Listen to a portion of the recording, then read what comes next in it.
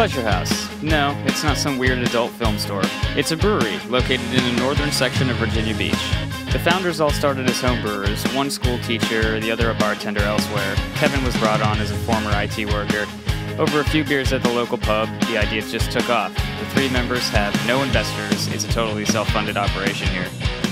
The name came from a tavern located on Pleasure House Road, not far from the brewery, which in the 1600s was also home to a brothel. Lookouts would post up on the high dunes across the road, scouting for cops. It's because of this history that the name stuck. A sand swept shopping mall houses the brew house. It's a super small operation, but that only lends to its charm. Inside, there's plenty of seating, and an excellent cheap hot dog joint sits right next door, just in case you get the munchies. So let's dive in and try some cold beer. Hey guys, back again for another brew review. Today we are at Pleasure House Brewing in Virginia Beach. So we want to give a big shout out to the staff here for being so accommodating with us today. They actually let us come in before they even opened. So we actually get the place all to ourselves. Really cool you guys to do that. It really makes the job a little bit easier. Right now they're offering 11 beers and we're just doing five. The first one we have today is the Shucker Single. And this is a Belgian blonde ale. Yep. So fusing two of the styles together to make uh, to make this one. Ooh. Try that. I'm getting a really present Belgian yeast flavor out of that. I think it's really good. That's But- really good. That's like a really nice balance between a blonde ale and a Belgian beer. That's really good for only 5.5%. It definitely has a yeasty character and smell to it. Ugh, that's really good. It's a really easy drinking Yeah. beer too. It's a really tasty beer for something that's low alcohol. Just out of uniqueness and the way it tastes and the way it fuses everything together, I give it a four. I'm gonna say I give it a four and a half. I really like what they were doing here. When they really they did a nice balance both beers, and I've never had anything like this. It's good. Yeah. It's really good. And I like Belgian beers, so maybe that's why I gave it a little bit more. All right, so the second beer we have is called the Rudee Inlet, and this is a Imperial IPA. 75 IBU. Yeah, that's good. Yeah, that's that's definitely A very strong hop character right up yeah. front. It's bitter. It's strong. It's only 8.1 percent, so alcohol is fine. Very hot. Very hoppy. This tastes more bitter than I feel like the IBUs would suggest, but it's, Quite it finishes very smooth. I kind of dig that one. It's Yeah, got that real good. piney uh, bite to it. Yeah, Yeah, reminiscent of like West Coast style beers. Yeah, that's- definitely, definitely, that's really really, piney. If you like double IPAs, this is this is actually quite like good. it. I'd give that a four for sure. Yeah, Yeah. I, I actually really like this one. I'm gonna go ahead and give this one a four as well. Even though it's not the style of beer that you would normally drink. It's not what I normally like, but um, it's so smooth that it almost I almost don't care. Yeah, which speaks a lot. It's really well. beer itself. it's well done. It's well done. It's well brewed. That's good. Good job. Good That job, was- guys. that's a good one. So the next one we have is Mellow Currents. So this is a collaboration with a meadery around here, um, and they use black currants. Currants. Anyways, Those are raisins Yeah. and honey as well. honey. It's actually a Hefeweizen though. That raisin plus honey in a Hefeweizen. I don't know. Definitely a cool experimental beer right there. Let's try this.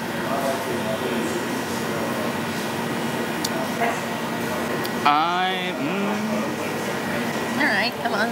okay okay. So this one, yeah, right.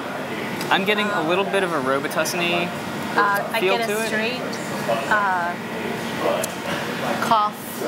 cough syrup, Yeah, like the Yeah. the the, lo- the uh, like a lozenge yeah that you that you that you suck on. yes Yeah. when you have a cough. I'm definitely That's getting a lot of Dimetapp-ish. But like after that, there's a little bit of that honey that comes out. It's weird. And yeah, and then you get honey at the very end.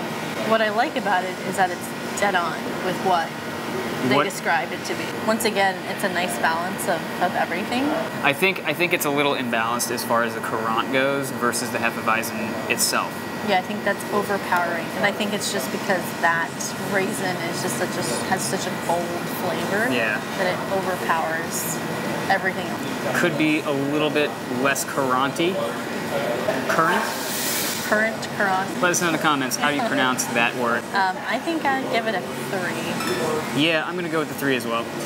I A Hefeweizen is so light that when you add something so strong to it, you know, you gotta be very delicate. Next beer is that. Let's do that one. Okay. That one's a saison. So that is called the light tower. This saison is aged in Chardonnay barrels. So if you're a big wine fan, this is supposedly super winey, um, white winey, dry, traditional, dry and oaky. These are the traditional tastes you would get out of a Chardonnay. That's what it tastes like. It tastes kind of like That's wine. a saison with wine. with wine. yeah. It's like they poured some wine into it almost. Yeah. Those flavors really, really Yeah. come out of the barrel. Yeah, very, Very filtered, very, very, clear. clean. I mean, that is. Can you see that? That like is like really clean. super, super crystal clear.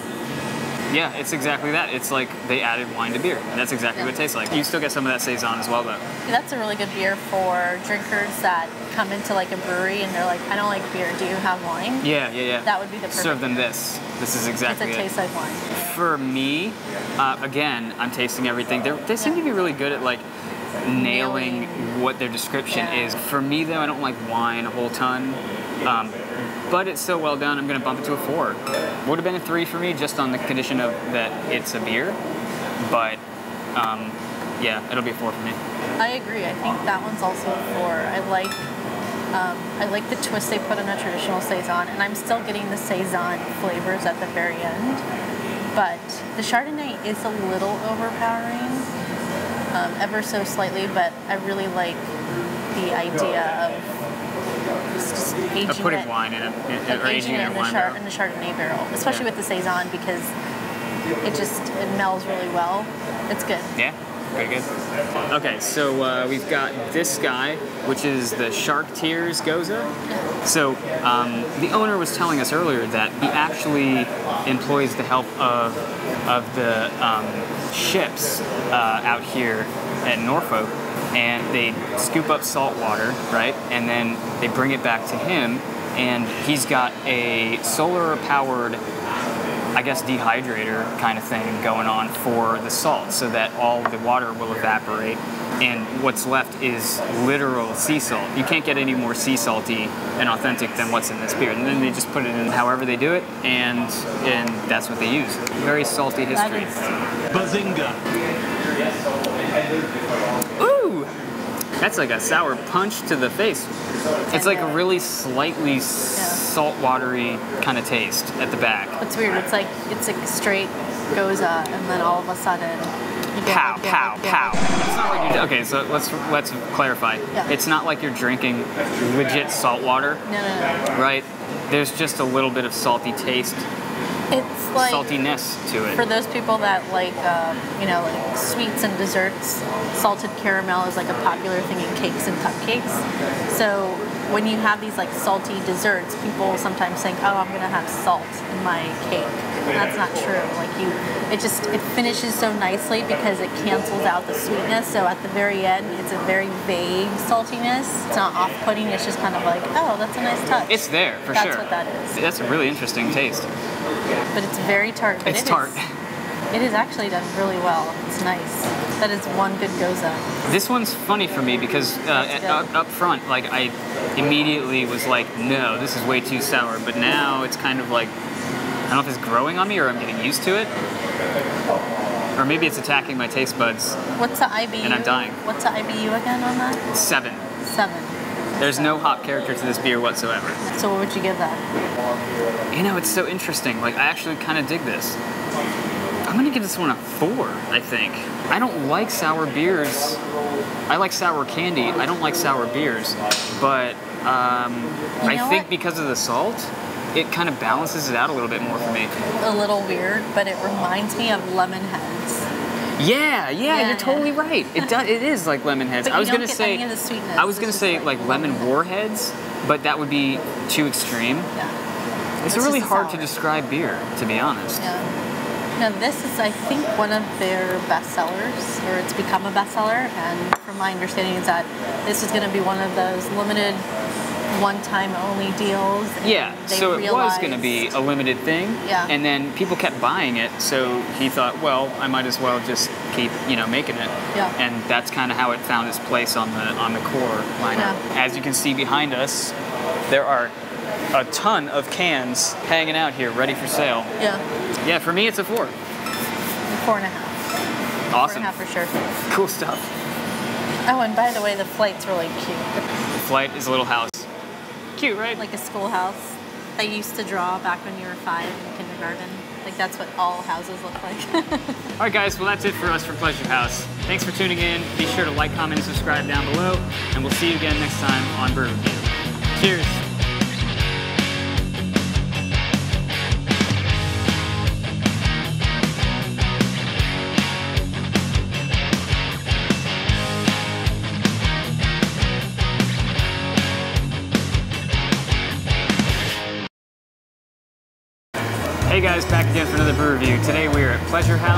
Brewing in Virginia Beach. so today, The beach has corrupted my sense of smell.